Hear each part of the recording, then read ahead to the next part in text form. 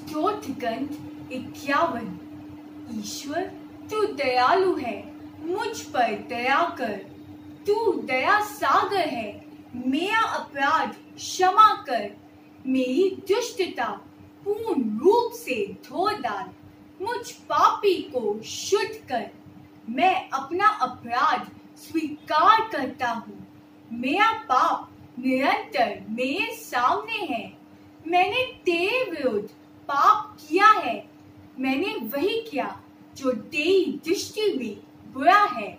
इसलिए तेरा निर्णय सही और तेरी दंड आज्ञा न्याय संगत है।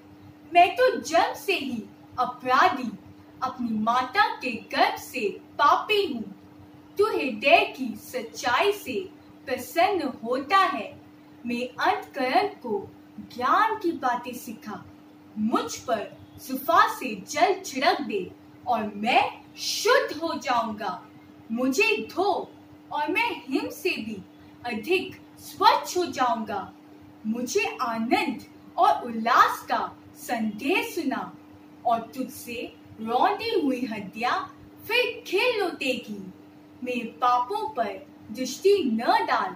मेरा अपराध मिटाने की कृपा कर। ईश्वर, मेरा हृदय फिर शुद्ध कर और मेरा मन फिर से दृढ़ बना। अपने सानिध्य से मुझे दूर ना कर। अपने पवित्र आत्मा से मुझे वंचित ना कर। मुक्ति का आनंद मुझे फिर प्रदान कर। उदारता में मेरा मन सिद्धित बना। मैं अपराधियों को तेरे मार की शिक्षा दूँगा और पापी तेरे पास लौट आएँगे।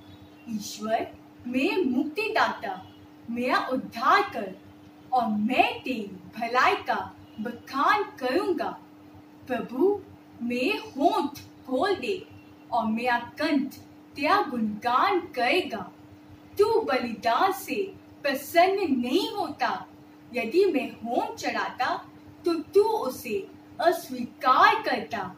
मेरा पश्चाताप ही मेरा बलिदान होगा।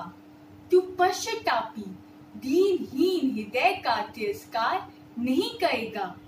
प्रभु, सियोन पर दया दृष्टि कर, यरूशलेम की चार दीवारें फिर उठा।